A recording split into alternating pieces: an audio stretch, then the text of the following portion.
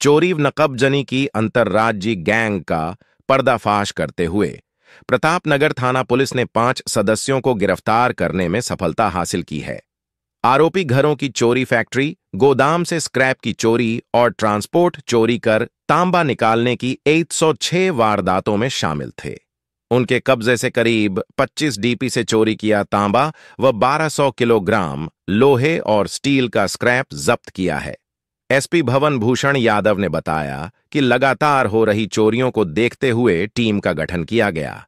Team को ज़रिए मुखबिर की सूचना मिली थी कि एक गैंग गाँव में और आबादी से दूर लगी डीपी को नीचे गिरकर उनमें तांबा चोरी करते थे।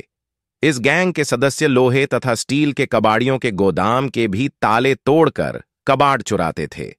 इसके अलावा सुनसान इलाकों में स्थित मकान के ताले तोड़कर उसमें चोरियाँ करते थे। पुलिस ने बताया कि यह गैंग अधिकतर मामलों में गुजरात नंबर की पिकअप गाड़ी का इस्तेमाल करती थी और चोरी कर माल इसी गाड़ी से लेकर फरार हो जाती थी। 27 सितंबर को टीम को सूचना मिली थी कि गुजरात नंबर की पिकअप गाड़ी, जिसमें कुछ संदिग्ध व्यक्ति माल लेकर डबोक की तरफ़ से उदयपुर आ रहे हैं सूचना पर थाना अधिकारी हिमांशु सिंह एवं डीएसटी प्रभारी देवेंद्र सिंह के नेतृत्व में टीम का गठन किया गया और नाकाबंदी की। तो एक संदिग्ध पिकअप नज़र आई, जिसको टीम ने रोकने का प्रयास किया तो पुलिस की टीम को देखकर आरोपी गाड़ी को भागने लगे, लेकिन पुलिस ने बैरिकेड लगाकर पकड़ डीडीडीएच लिया। पुलिस की टीम ने पाँच लोगों को पकड़ने में सफलता हासिल की। इसमें बख्ता का खेड़ा थाना आसींद निवासी, रोशनलाल गुर्जर, डबोक निवासी प्रेम, पुत्र गहरी लाल कीर, काली मंगरी थाना, डबोक निवासी फतेह सिंह, पुत्र भंवर सिंह भमरासिया डबोक निवासी, शांतिलाल, पुत्र भंवर लाल कालबेलिया व नाथ द्वारा के कजलियावास निवासी सोमनाथ, पुत्र जीवननाथ चौहान को गिरफ़्तार किया।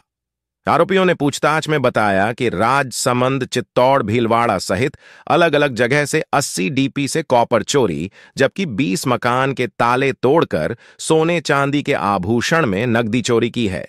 इसके अलावा 15 कबाड़ के गोदाम से लोहे स्टील का स्क्रैप चोरी करना स्वीकार किया है। आरोपी इलाकों में सूने मकान की दीन में रेकी करते थे और रात्रि के समय उसको ताले तोड़कर चोरी को अंजाम देते थे।